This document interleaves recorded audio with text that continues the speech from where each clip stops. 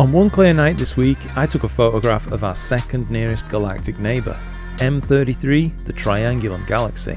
The Triangulum seems like a pretty odd name for a galaxy, but it starts to make sense when you realise it was found in the constellation of Triangulum. At a little over 61,000 light years across and made up of over 40 billion stars, it's pretty big. But even so, it's only about 60% of the size of our own Milky Way. Thanks for watching. Don't forget to subscribe if you want to see more.